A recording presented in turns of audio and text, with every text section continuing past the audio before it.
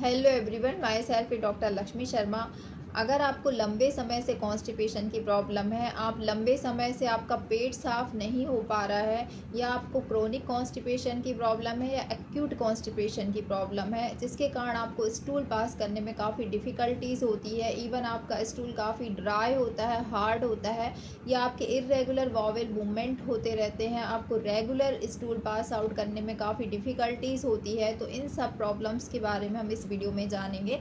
साथ ही हम जानेंगे कि ये कॉन्स्टिपेशन क्या होता है, इसके क्या क्या कॉजेज़ होते हैं, साथ ही आप इस कॉन्स्टिपेशन की प्रॉब्लम को कैसे नेचुरली मैनेज कर सकते हैं, इसके अलावा मैं यहाँ पर आपको तीन ऐसे होम्योपैथिक मदर टिंचर बताऊँगी, जो कि आपके कॉन्स्टिपेशन की प्रॉब्लम को कंप्लीट क्योर करने में काफ़ी हेल्पफुल है, और साथ ही इन सभी मदर टिंचर को आप इस्तेमाल करके अपनी कॉन्स्टिपेशन की प्रॉब्लम को पूरी तरह से ठीक कर सकते हैं। इवन अगर आपको सुबह सुबह पेट साफ़ ना होने की प्रॉब्लम भी होती है तो आप इन सभी मदर टिंचर का इस्तेमाल करके अपनी कॉन्स्टिपेशन की प्रॉब्लम को पूरी तरह से ख़त्म कर सकते हैं। ये सभी मदर टिंचर क्या हैं? इसके अलावा कॉन्स्टिपेशन की सभी प्रॉब्लम्स के बारे में हम डिटेल में बात करेंगे। इसके पहले दोस्तों, अगर आप मेरे चैनल पर नए हैं या वीडियो को पहली बार देख रहे हैं तो बेल आइकन को प्रेस करके चैनल को सब्सक्राइब ज़रूर कर लें। वीडियो बहुत ही इन्फॉर्मेटिव है, इसलिए वीडियो को बिना स्किप किए एंड तक ज़रूर देखें। तो चलिए शुरू करते हैं। सबसे पहले हम बात करते हैं कि कॉन्स्टिपेशन किस कंडीशन को कहते हैं। अगर आपके वॉवल मूवमेंट वीक में तीन बार या उससे भी कम है, यानी दिन में आप तीन बार या तीन बार से भी कम अगर स्टूल पास आउट कर पा रहे हैं पहले आप नॉर्मली स्टूल पास आउट करते थे, हर डे करते थे, लेकिन अभी अभी सडन से ऐसा हो गया कि आपका वीक में थ्री टाइम्स से उससे भी कम वॉवेल मूवमेंट हो रहा है तो इस कंडीशन को हम कॉन्स्टिपेशन की प्रॉब्लम कहते हैं। कॉन्स्टिपेशन के पीछे बहुत सारे कारण होते हैं। सबसे पहले इसका कारण होता है कि अगर आप सही तरीके से अपनी डाइट में डाइट्री फाइबर्स को ऐड नहीं करते हैं, आप ऐसा कोई चिकना खाना खाते हैं जिसमें तेल बहुत ज़्यादा होता है, मैदे से बनी हुई चीज़ें ज़्यादा खाते हैं फ्राइड फ़ूड खाते हैं जंक या प्रोसेस फ़ूड का अगर आप ज़्यादा इस्तेमाल करते हैं तो उसके कारण भी आपको कॉन्स्टिपेशन की प्रॉब्लम हो सकती है। दूसरा कारण होता है दोस्तों कि अगर आप अपनी डाइट में बहुत कम फ्लूड ले रहे हैं, यानी कि वाटर इनटेक आपका काफ़ी कम है फ्लूड इनटेक काफ़ी कम है तो उसके कारण भी कॉन्स्टिपेशन की प्रॉब्लम आपको डेवलप हो सकती है।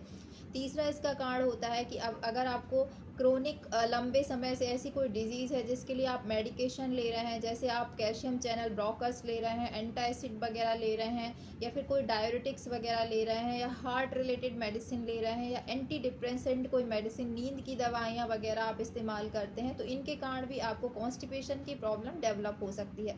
इसके अलावा कॉन्स्टिपेशन के बहुत सारे कॉजेस होते हैं। अगर आपका डेली ईटिंग पैटर्न जो है वो डिस्टर्ब है, आप किसी भी टाइम पर खाना खाते हैं तो जिसकी वजह से आपकी जो इंटेस्टाइन है वो प्रॉपरली फंक्शनिंग में नहीं रहती है, जिसके कारण कॉन्स्टिपेशन की प्रॉब्लम हो सकती है। इसके अलावा आप ट्रैवलर हैं, आप ट्रैवलिंग करते रहते हैं, ऐसा कोई ऑक्यूपेशन या जॉब है जिसकी वजह से आपको बार बार ट्रैवलिंग करनी होती है तो जिसकी वजह से आपका जो है ईटिंग पैटर्न प्रॉपर नहीं होने से भी आपको कॉन्स्टिपेशन की प्रॉब्लम हो सकती है। इवन स्लीविंग पैटर्न अगर आपका रेगुलर नहीं होता है, आपका खाने का टाइम और सोने का टाइम भी अगर प्रॉपर नहीं होता रेगुलर तो उसके कारण भी आपको कॉन्स्टिपेशन की प्रॉब्लम डेवलप हो सकती है। इसके अलावा आप अगर फ़िज़िकल एक्टिविटी काफ़ी कम करते हैं, काफ़ी लंबे समय तक, ऐसा ऐसा कोई एक्यूपेशनल या आपका कोई ऐसा जॉब है जिसके कारण आपको लंबे समय तक बैठे रहना पड़ता है, आपकी फ़िज़िकल एक्टिविटीज़ अगर कम होती तो इसके कारण भी आपको कॉन्स्टिपेशन की प्रॉब्लम हो सकती है। इसके अलावा अगर आपको किसी भी समय अर्ज़ होती है स्टूल की और आप उस कंडीशन को इग्नोर करते हैं स्टूल पास आउट की अर्ज़ को, अगर आप इग्नोर कर देते हैं तो इस कंडीशन में भी आपको कॉन्स्टिपेशन आगे जाकर डेवलप हो सकता है।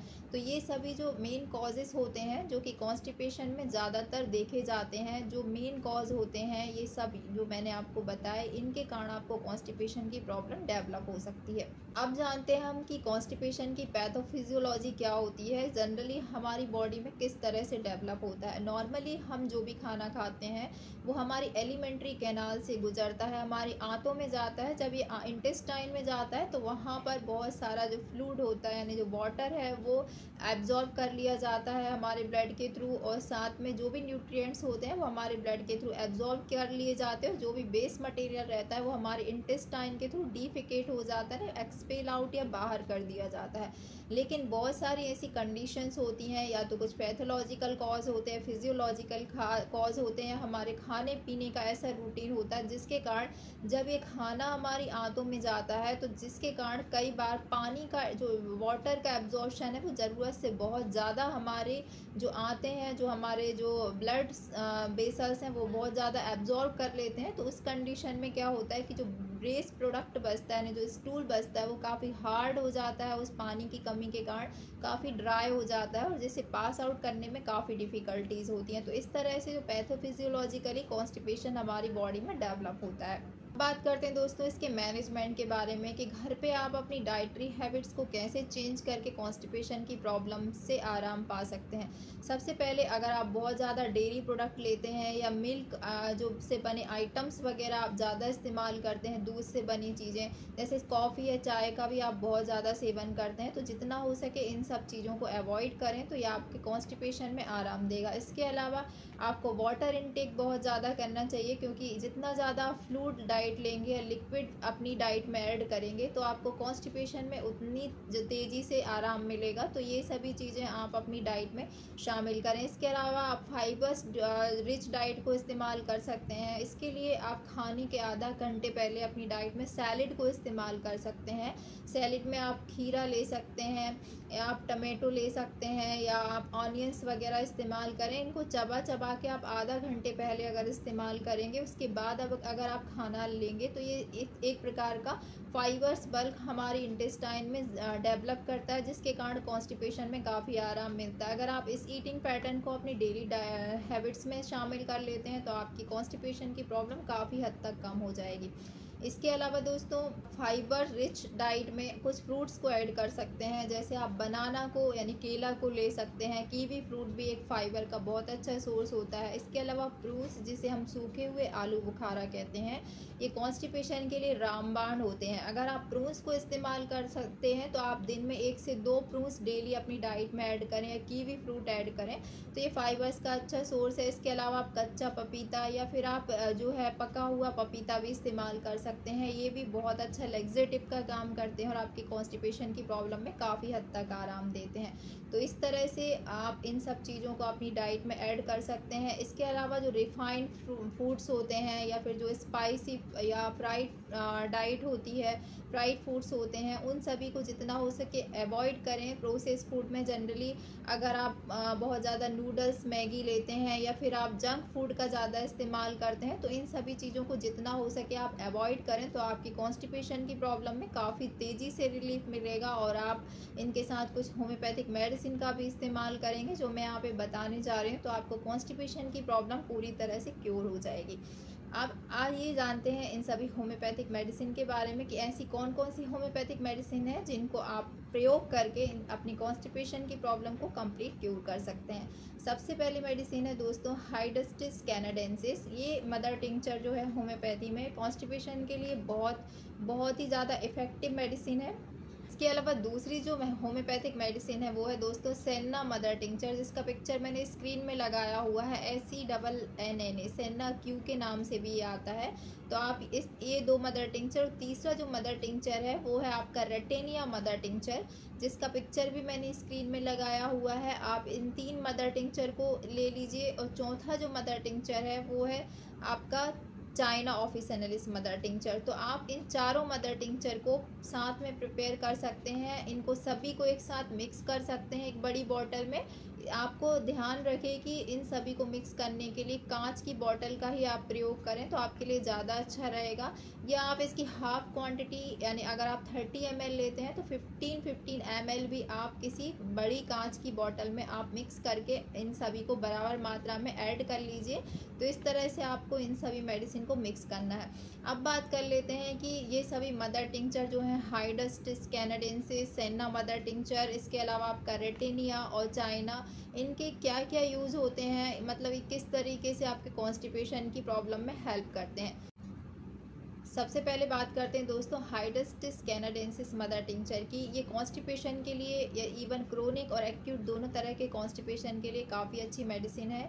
ये मदर टिंचर आपके वो कॉन्स्टिपेशन को क्योर करता है। इसके अलावा अगर आपको पेट में काफ़ी हैवी महसूस होता है, आपको इंटेस्टाइन की मसल्स में काफ़ी वीकनेस लगती है रेक्टल वॉल आपको प्रोलेप्स की प्रॉब्लम होती है रेक्टल मसल आपकी काफ़ी ज़्यादा वीक है या डाइजेस्टिव मसल वीक होने के कारण आपका जो खाना है वो सही तरीके से डाइजेस्ट नहीं होता या फिर आपका पेरिस्लेटिव मूवमेंट भी काफ़ी स्लो होता है तो या फिर आंतों में काफ़ी पुरानी सूजन है तो हाइडस्टिस कैनाडेंसिस इन सभी कंडीशंस को कवर करता है। तो ये हाइडस्टिस कैनाडेंसिस एक बहुत अच्छा मदर टिंचर होता है कॉन्स्टिपेशन के लिए। दूसरी जो मेडिसिन है, वो सेना मदर टिंचर है।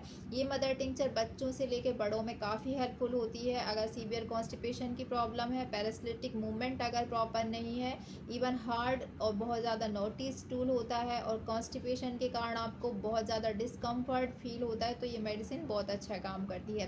तीसरी जो मेडिसिन है दोस्तों, वो है रेटेनिया मदर टिंचर अगर आपको बहुत ज़्यादा ब्लॉटिंग फील होता है, पेट काफ़ी फूला फूला लगता है, और आपका जो कॉन्स्टिपेशन के कारण गैस पास आउट करने में आपको काफ़ी डिफ़िकल्टीज़ हो रही है एब्डोमेन एकदम डिस्टेंडेड अगर फील होता है। इसके अलावा आपको क्रोनिक कॉन्स्टिपेशन के अलावा पाइस या फिशर की भी प्रॉब्लम है तो ये म्यूकस मेम्ब्रेन पे भी काफ़ी अच्छा एक्शन करता है। तो पायस और फिशर की प्रॉब्लम के लिए ब्लीडिंग पायस के लिए भी ये रेटेनिया मदर टिंचर काफ़ी हेल्पफुल होता है। चौथा जो मदर टिंचर है दोस्तों वो ये चाइना ऑफ़िस एनलिस्ट जिसे कहते हैं। चाइना ऑफ़िस एनलिस्ट जो मदर टिंचर है, वो आपके ओवरऑल वीकनेस को भी कवर करता है। इसके अलावा अगर आपको पेट में काफ़ी भारी महसूस होता है इवन आपके पूरे पेट में ऐसा लगता है कि आपको बहुत ज़्यादा गैस भरी हुई है, यानी काफ़ी डिस्कम्फर्ट अगर फील होता है तो चाइना उस पर भी काम करता है। आपकी गैस्ट्रिक प्रॉब्लम की ऑल ओवर जो प्रॉब्लम्स रहती हैं, चाहे वो आपकी लिवर की प्रॉब्लम हो लिवर पर भी मेडिसिन बहुत अच्छा एक्शन करती है, या फिर आपकी कॉन्स्टिपेशन की प्रॉब्लम हो क्रोनिक या फिर आपको जो है काफ़ी ज़्यादा वीकनेस फील होती है बॉडी में तो उन सभी प्रॉब्लम्स की मेडिसिन कवर करती है। ओवरऑल ये कॉन्स्टिपेशन और एब्डोमिनल डिस्कम्फर्ट की सारी प्रॉब्लम्स के लिए बहुत अच्छी दवा होती है। तो आप इस तरीके से इन चारों मदर टिंचर का आ, साथ में आप लेके आइए और उनको सभी को इक्वल क्वांटिटी में आप स्टोर करके रखिए और आप इस कांच की बॉटल में सभी को इक्वल क्वांटिटी में आप इनको स्टोर करके रखें और आपको मैं बताती हूँ कि किस तरीके से आपको इन मेडिसिन का सेवन करना है।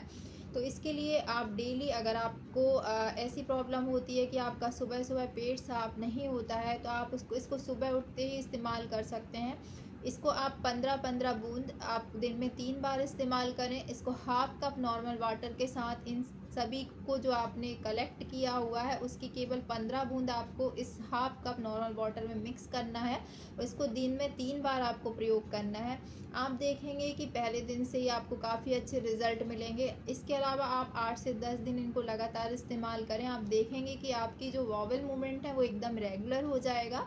आपके कॉन्स्टिपेशन की प्रॉब्लम में भी आठ से दस दिन में काफ़ी अच्छे रिज़ल्ट मिलेंगे। अगर आपको बहुत अच्छे रिज़ल्ट मिलते हैं तो आप एक महीने इस मेडिकेशन को फॉलो करें। आप देखेंगे कि आपकी कॉन्स्टिपेशन की प्रॉब्लम परमानेंटली क्योर हो जाएगी और इससे आपको काफ़ी अच्छे रिज़ल्ट मिलेंगे।